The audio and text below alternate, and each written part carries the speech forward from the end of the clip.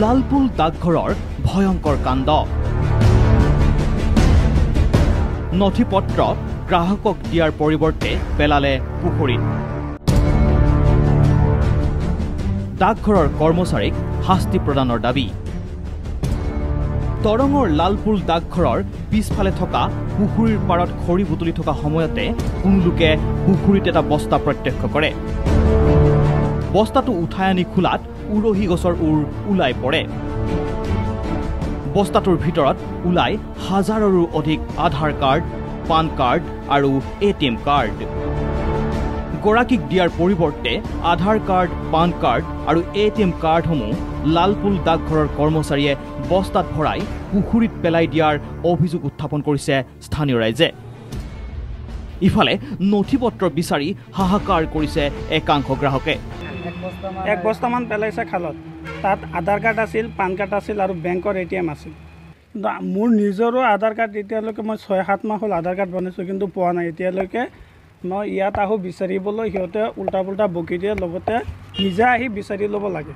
আপোনাৰ A T M PAN card আপোনাৰ Aadhaar card আৰু যিবিলাক পুষ্টাগতে ই আছে বস্তুবিলাক আপুনি আমি তাৰমানে ইয়াৰ পৰা খালত পাইছোঁ। অঁ। পিছফালে পোষ্ট অফিচৰ পিছফালে খালত পাইছোঁ। পানীত পৰি আছে। এই সন্দৰ্ভত ডাকঘৰৰ পৰিচালকজনৰ পৰা প্ৰতিক্ৰিয়া বিচৰা হৈছিল যদিও পৰিচালকজনে অজ্ঞতা প্ৰকাশ কৰি মন্তব্য দিয়াৰ পৰা বিৰত থাকে। শুনিছো কিন্তু মই তাত আনিছে। থকা- ধৰকচোন তাতে থকাহেঁতেন মই গম পালো হয়। কিন্তু বস্তুটো এতিয়া বৰ্তমান মোৰ লগত কাষ্টডিত আছে মোৰ ইয়াত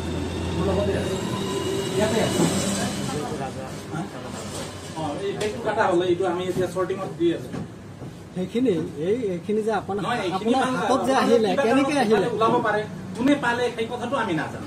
ডাকঘৰৰ কৰ্মচাৰীৰ এনে দায়িত্ব জ্ঞানহীন কৰ্মকাণ্ড তথা চৰম গাফিলতিৰ বাবে ৰাইজ ভয়ংকৰ বিপদৰ সন্মুখীন হোৱাৰ আশংকা ব্যক্ত কৰিছে সচেতন মহলে।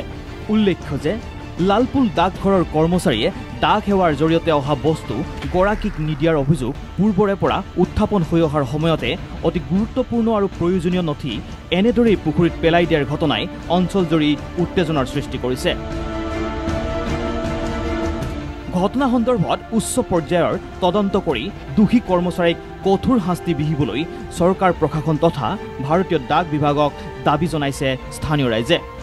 মানে আমি এইটোৱে বিচাৰোঁ যে সিহঁতৰ উচিত শাস্তি হ'ব লাগে। কিয় এইটো কৰে আৰু মানুহক কিয় কল নকৰে বা মানুহ আহিলে বয়সস্থ মানুহ আহিলেও মানুহক থিয় কৰাই থৈ দিয়ে।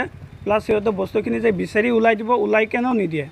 মানুহে নিজে বিচাৰি ওলাই লৈ যাব লাগে। এনেকুৱা ইহঁতৰ অৱহেলা। ৰৌতাৰ পৰা আব্দুল আৱালৰ ৰিপৰ্ট দ্য নিউজ প্লাছ।